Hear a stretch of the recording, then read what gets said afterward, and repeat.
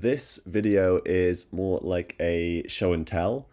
The goal I had here was to recreate a piece of code from P5JS that simulates slime molds in GLSL. Part of this is I'm fairly familiar with P5JS and less so with GLSL, so I thought if I could take something and kind of morph it into a GLSL script that would work in Touch Designer, it would sort of get me learning more about that process. And basically here what you have is you have a number of particles that are moving and trying to sense previous particles movements like the trails of a slime mold. The code is available online via open processing. So if people are interested, I'll link to this, some information about the sort of the mechanics of that. And if you want to kind of have a more from scratch view in a just a P5JS coding environment, you can look at this slime molds Physarum tutorial, which will get you a lot of the way in just the P5 world.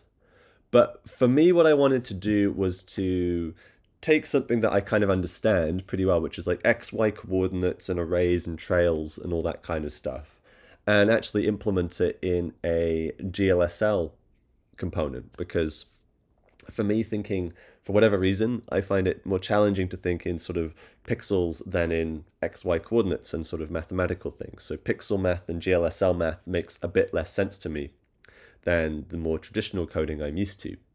And this is really why I wanted to start challenging myself to kind of port things I knew how to do quite well to different environments like Touch Designer, which I am newer to. And I'm not going to go into how I wrote the GLSL. It's pretty simple in this component. We've got my compute shader and my pixel shaders. Um, I'm going to just show you how to run this component and I'll make it available online through my Patreon, which I'm just starting out. So subscribe. In terms of like what a slime mold actually looks like, they're super cool. Slime mold, it's a sort of um, gelatinous blob. It's a single cell, but it doesn't have neurons, it doesn't have a brain. And yet, if you put it in an environment in which there is a complex decision to make, for instance, which direction should you choose to find the best food source, well, this blob is capable of uh, solving this problem relatively easily. And this thing is just literally a jelly making smart decisions. So my goal was to make a jelly that makes smart decisions, and this is a bit of the kind of you know the background of slime molds if you want to go onto Wikipedia and check them out. Anyway, for this little video, I want to show you how to utilize this slime mold component. I'm just going to close this for the time being. And it's kind of just this really simple thing we can add into a feedback loop once it's been built, which is really great. So I'm going to add a noise, which is going to be my starting positions. I'm going to add a feedback and connect that up, and it should probably automatically connect. It's looking for a feedback. And I'm going to create a null, which I'll connect back onto the feedback we can see that there's some movement here. It's manipulating those pixel positions based on the underlying GLSL. If we go in to view that as points, it's not maybe super clear, but we can see that there's movement here. And basically this is all we have to do to get those positions. I'm going to go and create a little geometry network. So I'm going to create a point. I'm going to do add. I'm going to link that into a convert. For add, I'm going to say add points. And on the convert, I'm going to say particles per point and link that into a geo. So this is essentially creating a single point that I can instance. You could do this with a circle or a sphere, um, but I really like working with points because I find them, you know, they're, they're very simple ways of visualizing networks and they're also pretty efficient in terms of rendering speed. I'm going to link the end of my chain, that null, in, and I'm just going to give it the R and G values. Um, no need to give it the B value because it's just 2D. And sometimes weird things happen if we give it that extra value. I'm going to add in a constant. And we can see that it's working. You know what, I'm actually going to add in a point sprite so we actually have a bit more control over the scale of those points. Home the network and let's add a render, a camera, I'm going to do RGB key and a final null for my output, which I'll visualize here before we get into editing the component values, we're going to add a keyboard into that feedback to reset it. Now let's see what happens. Okay, so first up, let's switch that monochrome. Turn the offset to zero. And let's also make the noise 32-bit RGBA. So then we have noise that is going to be centered around minus 1 to 1. I'm going to turn down that point sprite, which I really turned up there, and we can start seeing some of those forms. In the camera, I'm going to actually change my render to 1280 by 1280 because I set this to be square, and I'm going to zoom in.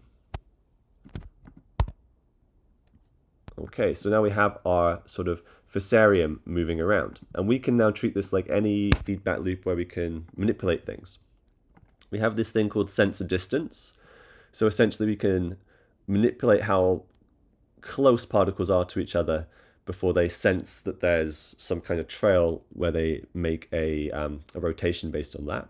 So having a smaller sensor distance is going to basically create these more um, fine patterns versus if you have something that's a larger sensor distance, you're going to get this more general sort of movement of noise.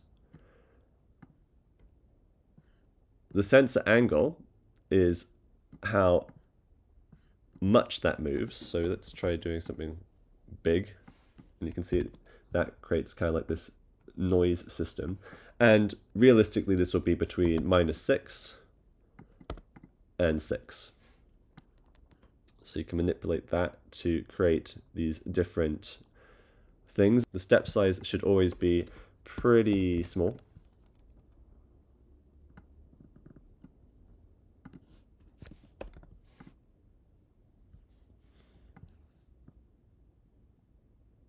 And the rotation angle as well can create these different types of patterns.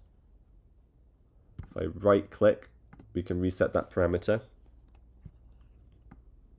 Something we can also do if we go inside the component, I should probably just create another input, is right now we have two inputs here.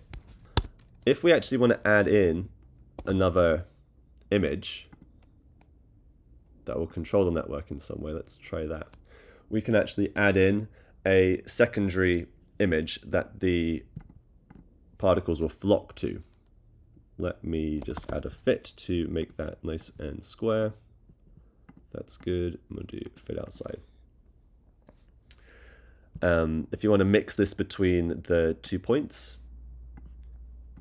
let's just add in something like a cross, make it real simple.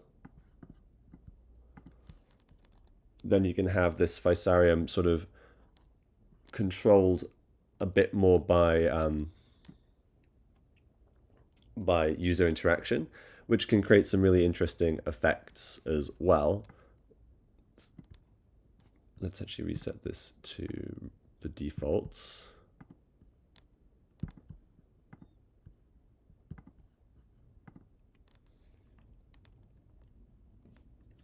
So that looks pretty good and we can get these interesting patterns as we move around and we're kind of adding in this extra noise to the to the system itself.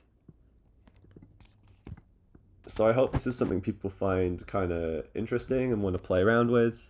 Um, it's something I've really enjoyed, and I look forward to seeing what folks do with it.